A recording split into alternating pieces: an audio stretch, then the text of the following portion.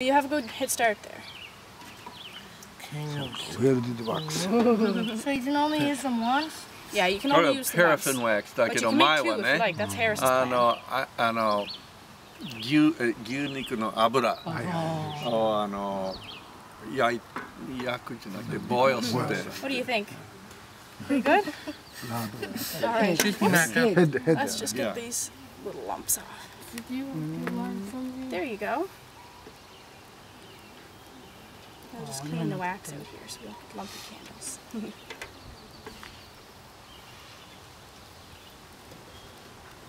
now there's another way to make it too, I think.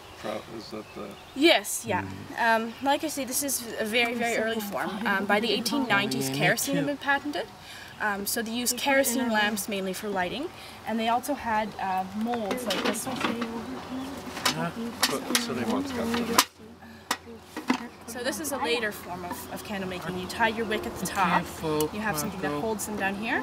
You pour the wax in, and they cool. So, um, but like I said, by the 1890s, kerosene lamps were very popular.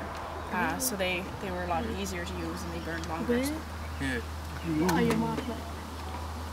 Oh, you want it. Hot, hot Oh, the this looks water, good. This one is really hot. Oh, You don't touch that no, one. no, no, no. They burn you, Yeah, it'll burn you. burn your face. Yeah. That won't be good.